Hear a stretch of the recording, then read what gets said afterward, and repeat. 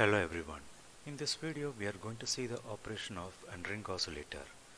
So before going into the experiment, at first what is meant by oscillator? Oscillator is nothing but it works on the feedback topology.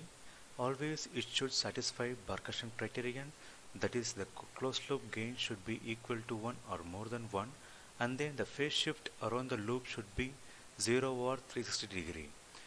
To attain oscillations, we will go for an odd number of stages in ring oscillator. So, to while going for a ring oscillator, at first we should design a basic CMOS inverter. So here we have designed a CMOS inverter. It is nothing but combination of PMOS and NMOS.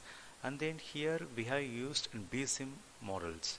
So here we can find a BSIM models in the internet web website. You can find it out and you can download it. And then always you please store your BSIM model in your experiment folder. Suppose here in this folder I am going to make ring oscillator so I have in included bsim4 models over here and then here I have given include bsim4 models dot text. So here the name is for my model name is p underscore 50n and then the length is 50n and width is 1 micro and likewise for m2 is length is 50n and width is 500n. So I am using BSIM4 model. So the corresponding PMOS width and length is 50 by 1 by 50n and then the corresponding WL ratio for my NMOS is 500 by 50. So here it's a basic CMOS inverter. So if we have do it over here, the input is around here to 0 and output is 1. So it's working as CMOS inverter is working out. So now we are going to design for ring oscillator.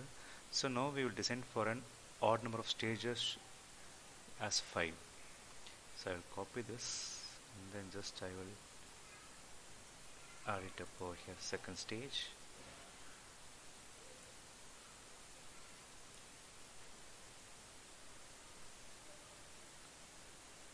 Third stage.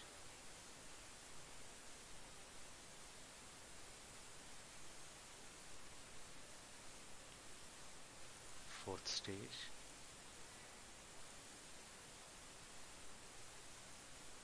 and fifth stage. So now let me cut the out out out. Oscillator means always it will provide the output without any inputs. So we won't give any inputs over here but it will provide the output. That is operation of basic oscillator.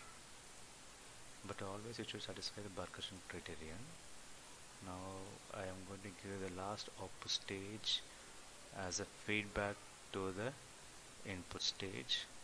I will name this as a oscillator. Yeah. So now here I have added one more um, one more line over here or one more instruction one more uh, corresponding and directive file over here spice directive. That means that initial condition initial condition for this loop is v oscillator is equal to 1 so the voltage of this line will be is equal to 1 and then let us start uh, executing. Close it. Let me run it. So here no input only output. You can find output over here. And then I want to zoom it. You can see it is oscillating and then we can find the frequency for this. Double click this line. So the first one is and then second. So here one cycle. Complete one cycle. You can find the frequency as 4.3 gigahertz. Frequency is oscillating. This is the basic operation of a ring oscillator which is operating at 4.3 gigahertz so it's nothing but ring oscillator means f is equal to 1 by 2n into time delay of each inverter stage. As you increase the number of stages the frequency will keep on get reducing. So we can implement the same thing by using a 3 stage or 5 stage or 7 or 9 or 11 as you keep on increasing the number of stages the time delay will be keep on increasing. As time delays keep on increasing the frequencies keep on decreasing. This is the operation of a ring oscillator. Thank you for watching